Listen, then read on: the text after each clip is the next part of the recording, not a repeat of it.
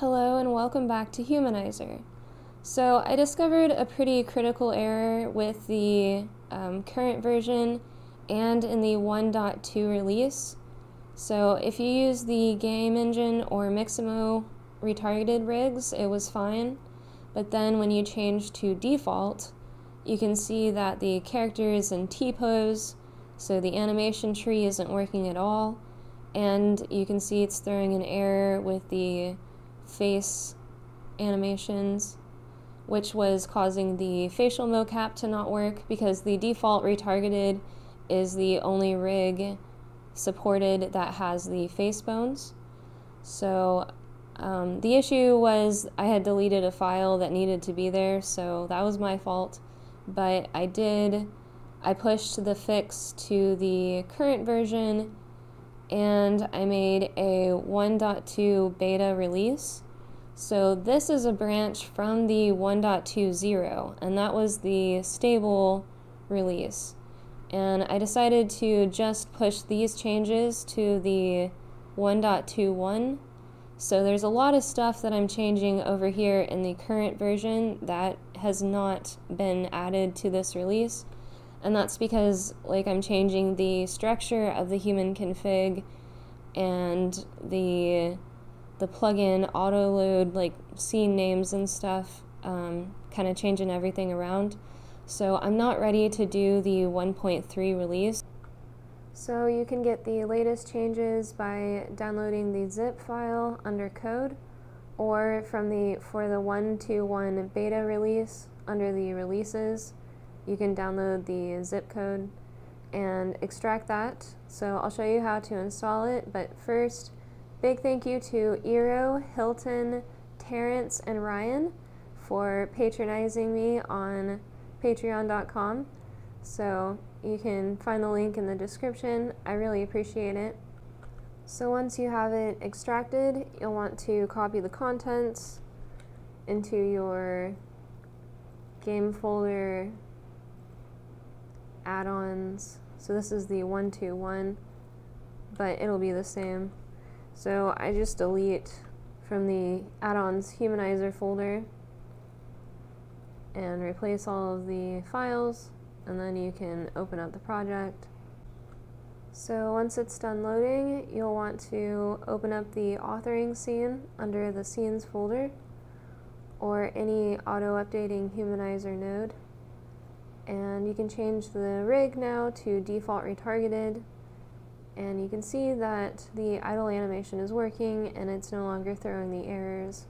So that did solve the problem. And if you do still have errors you'll want to go to your faceposes.glb and under import just re-import that. So Another issue that you may be having is if the menu doesn't show up at all when you click on the humanizer node. And if you installed it in a new project or had errors, it's probably just the plugin hasn't been enabled. So in your project settings under plugins, you'll want to enable it. And make sure that the humanizer global is enabled as well, or that will throw different errors. So I'll be using the iFacial mocap.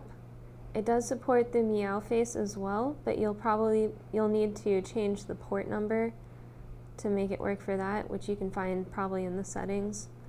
So um, with the iFacial mocap, before you start streaming, you do need to you'll need to get your IP address. So in Windows, it's ipconfig.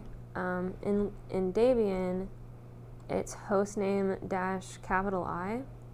So mine is 192.168.0.107. So you're looking for the local IP address.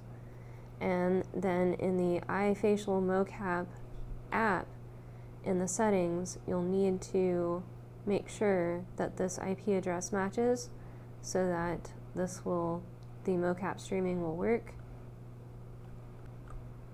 And once you have the IP address set up and the phone connected to the computer, you'll want to just enable the streaming. And now you can see that the animations do work. So that's still functional. Pretty cool. You can also record the clip, so you just change the name of it and then hit recording. Then you can make custom animations and then in the animation player you can load the face clips library or whichever file you saved it to so face clip library and we have take one and take two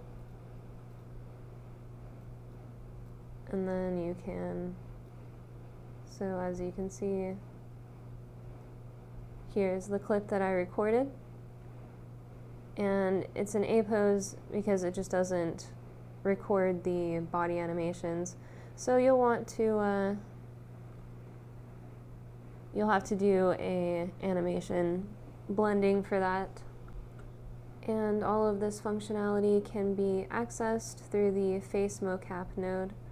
So in the editor, in the inspector, you can find the buttons so that's pretty much all. I just wanted to show you that it was still working and this is the 121 branch as well as the experimental.